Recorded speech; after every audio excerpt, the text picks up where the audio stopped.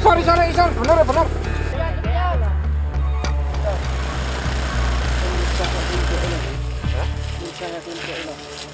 Kegiatan hari ini untuk proses pemadaman api bersama warga dan volunteer-volunteer lainnya dari berbagai desa, beberapa wilayah. Jadi bersama-sama begitu, berbarengan untuk memadamkan api yang ada di Bromo dan di sekitaran wilayah.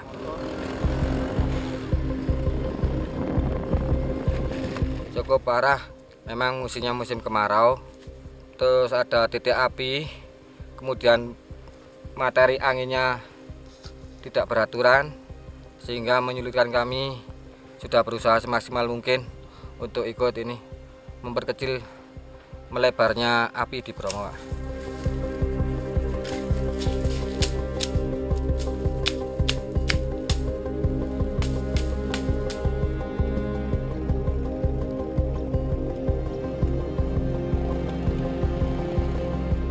Hambatan yang kita ini angin sangat kencang sekali begitu. Anginnya kencang terus kondisi berdebu juga dari tim kita ini kewalahan pak. Karena begitu anu cepat membesar gitu loh apinya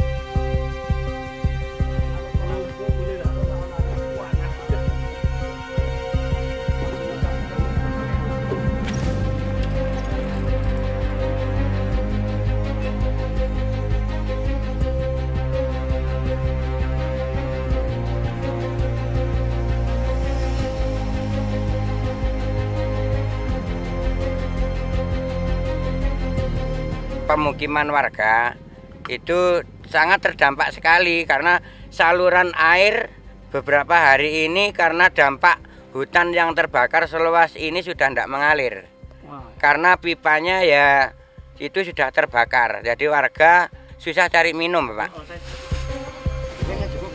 Ini banyak warga dan masyarakat yang mengeluh juga karena pendapatan sangat kurang dari jasa ojek maupun driver hardtop untuk armada penanjakan Bromo dan juga asongan PKL dan juga kegiatan warga yang di pemukiman warga karena pendapatan beliau dapat support dan dukungan dari kemitraan eh, Taman Nasional Bromo Tengger Semeru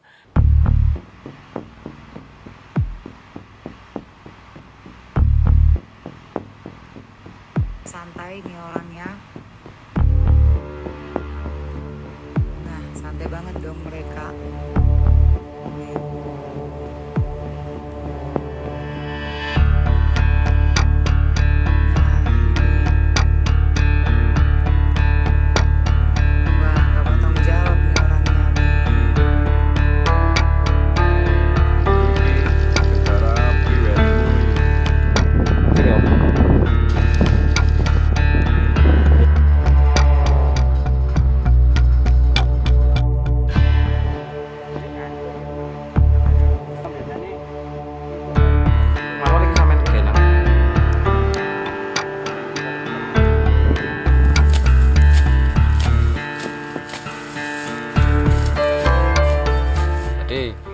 kemungkinan dengan adanya flare itu menimbulkan titik api baru lagi.